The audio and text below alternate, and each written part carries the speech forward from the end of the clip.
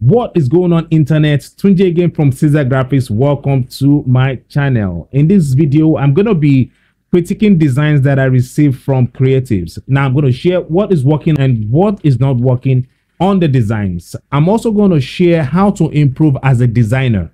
So sit back, relax, and keep watching.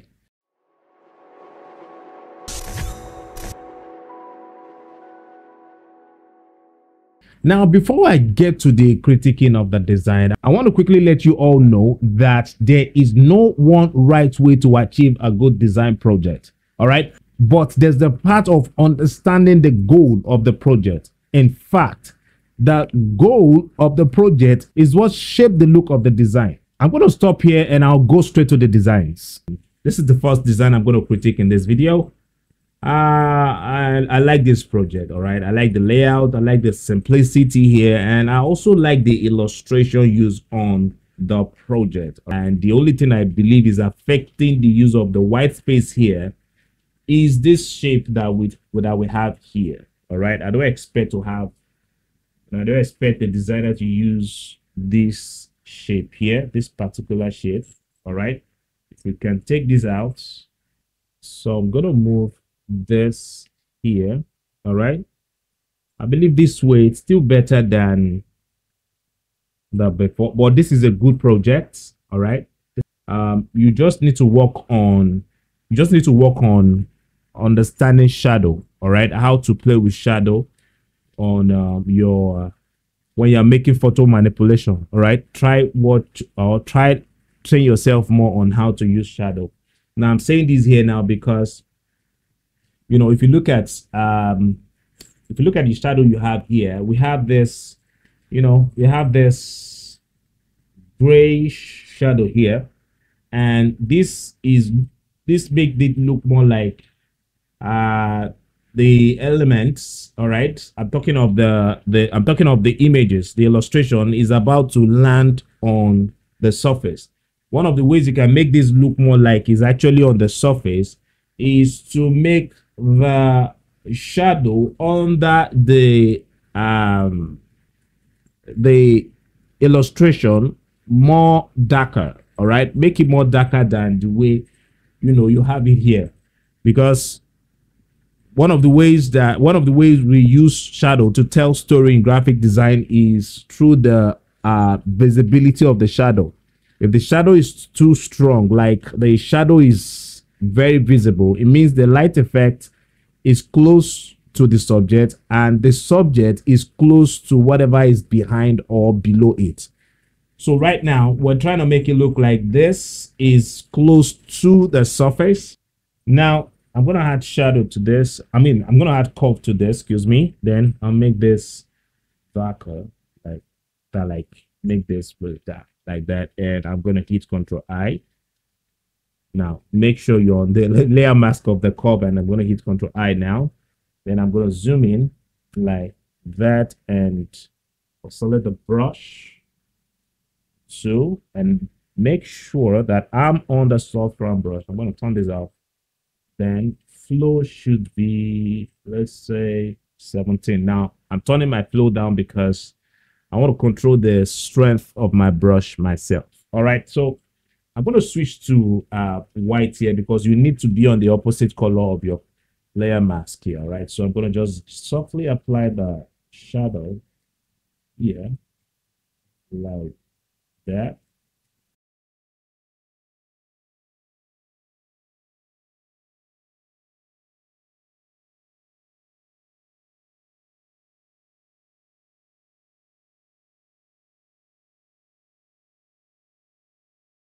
So this way, all right, I think it's still better now compared to the before. So let's see the before and after. This is the after and this is the before. All right. So I think this is, I believe you all agree with me. All right. This is still better. All right. Because photo manipulation is also important. All right. It's also important to every designer. So if you really want to tell story well, like you want to um, help your viewers understand the message easily. Photo photo manipulation is also part of what you need to learn how to do well as a designer. All right. so that is it on this and um, before i go all right i'm going to just recap again and and say what i noticed on this artwork it's a good layout all right uh, i like the symmetrical uh, balance here and um, the only thing i think the designer did not do well is just the photo manipulation part where the use of shadow is concerned but kudos to this designer. All right so let's go straight to the next design. Uh-huh yeah. So uh you see I, I always say this to you guys that um, uh, every graph, every design project has um, a job to do, and that job is to influence the reader. All right, you know, uh, if your design is not really drawing the attention of the viewer, the time you spend on the design is just waste. The work that the design need to do is not going to be achieved. And one of the ways we we make this happen on our design project is when we don't put the audience in mind, when we don't, you know, put the audience in our shoe. The work, all right, the goal of you, working on the design project is not to focus on yourself. The two people you need to focus on is the client and the viewer. Now, I know there are times when clients are going to make you uh, do something bad. But there are, as a designer, you need to learn the habit of educating them. Now, right, the, the reason I'm saying this here now is because of the layout, all right, the composition on this project here. This project is not successful, all right? This project is not successful. When you are asked to work on a design project for a brand who is selling items, there should be something all right there should be one of the items that you're supposed to use to draw to draw the attention or to grab the attention of the viewers to look at every other information on the project but when you are trying to make them see everything at the same time it's not different from when you meet somebody the first time and then you start telling the person everything about you um where how you grew up the what the food you ate yesterday and like that so there should be something like there should be sequence, all right, on your project. There should be something that when people see, make them stop and say, "Wow, is this possible? Oh, how? What is this? I like this. I like this look. I like. I, I feel like having it." And then you see them looking for, okay, um, how can I get it? Why do we have this illustration on this project? Why do we have the project like this? All right, but when you don't do that, the goal of the project is not going to be achieved. And another thing I want to say to you again is we don't use shape. All right. We don't just use shape because, yes, we want to just have the shape there. No, there's a reason why we use shapes in our design project. All right. Most of the time we use shape in our design project. We use it when we are trying to project important information. Another way, uh, another reason why we use shape is to create pattern. All right. Now, but when you now use similar shapes all through with picture clipped inside the shape, you are going to make the project look too busy and confusing. All right. So this project is not successful at all.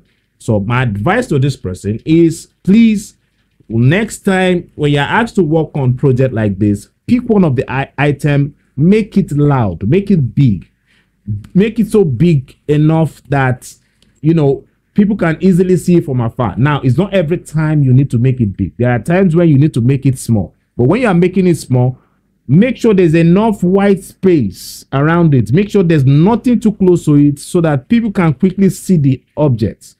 All right.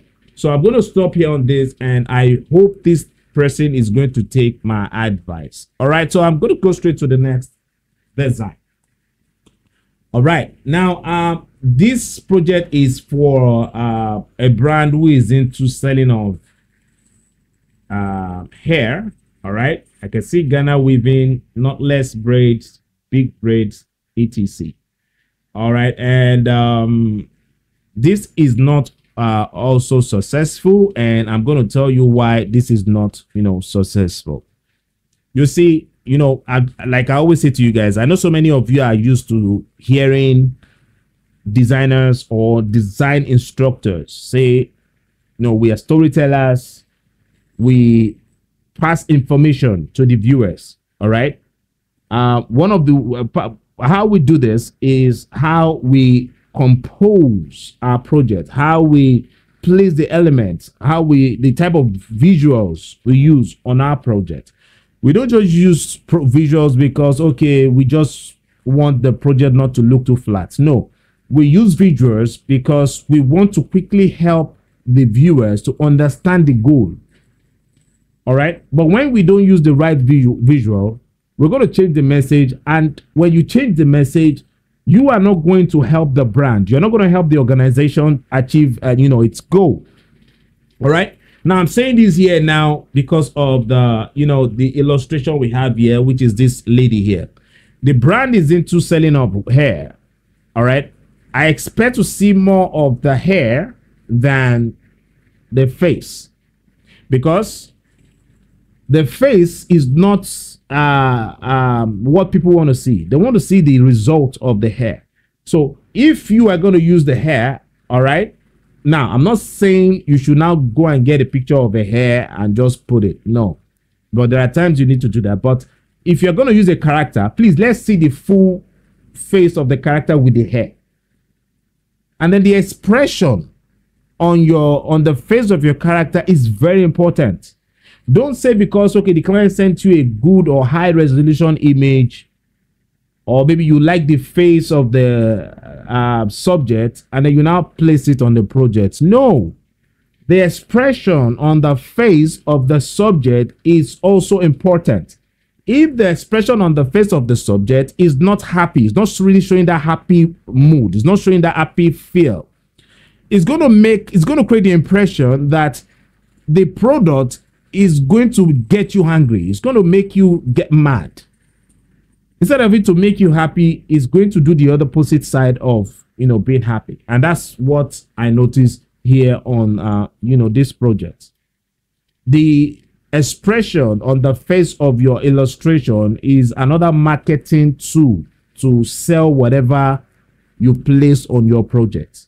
So when you receive the picture, please check if there's this uh you, you know the expression of the uh character is you know is going to sell the product or is going to promote the brand. Don't focus on the quality or the beauty on the face of the subject. Now see there are times when you can use pictures of someone who is not happy. But you only do this when the information on the project calls for it. All right? But if the information on the project never call for it please help the viewers, help the brand, make them achieve their goal. Use something that can that will draw the attention of the viewers to look at the project. All right. So yeah, um, that's for that on the illustration. Then the other thing I notice here is um, you see, um, the use of margin is very important in uh, design. In fact, in modern design, because um, uh, uh, most of the old school designs, the olden days design, they don't really pay attention to the use of margin. The fact that the design is even for um, is for social media does not mean you should not use margin. When I say margin, I'm referring to you doing this all right, so I'm going to go to view now and I'm going to go to guides here. Um, where is it? Where is it? View, guide, and say, uh, no, it should be view, guides, and say new guide layout. So I'm going to turn this to zero and this should be Okay, I don't need this. So turn on margin. All right. 50, 50, 50, and 50. All right. Now, the fact that I use 50, all right, for my margin here does not mean this is the only um, points that you can use for your margin. That the, the, the uh, frame of your project determines the uh, the margin that you're to use. All right. But make sure there's enough, you know, space like this. So the I the idea of having this, all right, is like um, you having a window. All right. So whatever is placed right here is what people see. So the idea of this is to help the projects look simple and balanced. This white space here is very important. So never place anything around here. All right. Now your picture can go outside of this like the way you know you have it here now.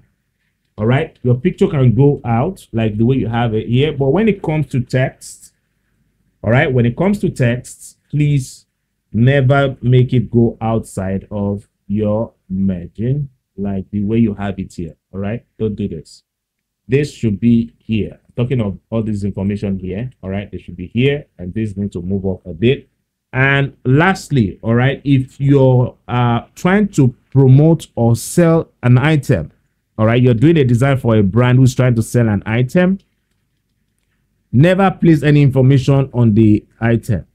So if you're selling hair, if the goal of the brand is to promote hair, all right, please don't place any information on the hair, all right, so people can see the beauty of what they want to buy. All right, so I'm going to stop here on this and I'll go straight to our last design for today. Now, before I critique this design, all right, I want to say this to this designer. And in fact, not only to this designer, uh, this is for every one of you. Now, what we do as designers is to entertain the viewers. In fact, we are more, we are entertainers. The fact that we don't appear on the screen does not mean we are not entertainers. We are entertainers. How we entertain people is through creating of designs. All right. And you can't achieve this when you are scared working on design projects. You achieve the entertaining of the viewers through playing all right. Now, the playing part is when you are putting together the elements, but you don't put together the elements forgetting the client and the audience. When your design lack that entertaining feel, it's going to make it look boring. And that's what I notice here. All right. Uh, the information here says join us on the Learning Gazette. Now, I'm not saying you should now make it look like a party um, or to make it have the party feel or something. No. If you're going to use a microphone like this, all right, I expect you to do something that connects this information to this, like play with the title and this your illustration here. All right. You know, one of the things that help we creatives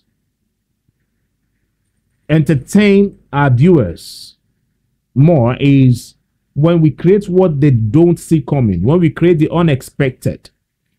That is why if you check most of all these uh, entertainment uh, TV programs, I'm talking of uh, um, MTV Base, Trace, and so on you'll notice that whenever they want to play with their title, they don't make it look like the way you are used to seeing it.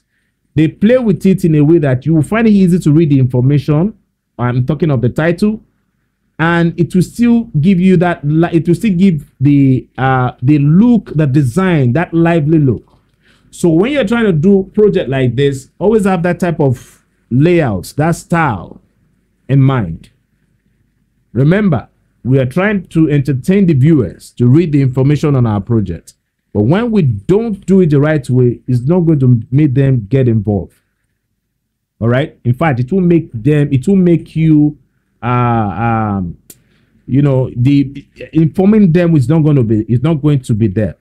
I want to sh quickly share one last thing with you before, you know, I sign out from this video.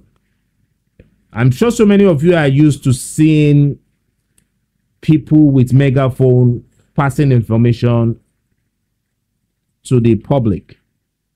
And I'm sure that some of you that are looking at me here now, In fact, I'm sure every one of you here, I'm sure you mostly don't listen to them when you see them hold the megaphone. The reason why you don't listen to them is because you are used to seeing uh, you're, you're used to seeing people with the megaphone talking through the megaphone, all right? And you don't want to continue hearing the same thing over and over again. But when you see somebody with a funny glasses, with a funny hat, and he's holding a megaphone, you surely stop and listen to him. Now, the reason why you stop is not because you like what the person is putting on. No, yeah, yeah, it's possible. Maybe it's because of maybe you like what the person is putting on, but the major reason why you decided to stop and listen to the person is because the person is the person looks different from what you are used to seeing when somebody is holding the megaphone and that's the same principle that apply to design we pass information to people but when we do design the way people are used to seeing it it makes them want it make them ignore our design i'm a type of designer that's no matter how small the information you ask me to put on your project, no matter how small it is, I'm still I'm still going to try to make it a bit look different from what people are used to seeing. And that's one of the secrets to achieve a successful design. I'm going to say this again before I sign out. There's no one right way to achieve a good design. But there's a part of you understanding the project, the projects, understanding the goal. The goal of the project is what influence the look of the design. So whenever you're asked to work on design project, take note of this. Understand the pro understand the goal, entertain the viewers, and do what you think is right for the project. Thank you. All right, all right, all right. I'm glad you made it to the end of this tutorial. I'm sure you enjoyed it. If you have not subscribed, remember to hit the subscribe button and also remember to check the post notification bell so you get notified when I post my tutorials. Give this video a thumbs up. This that's one of the ways you can support this channel. All right? Share this video with other creatives and thank you again for watching. I'll see you in the next one. Peace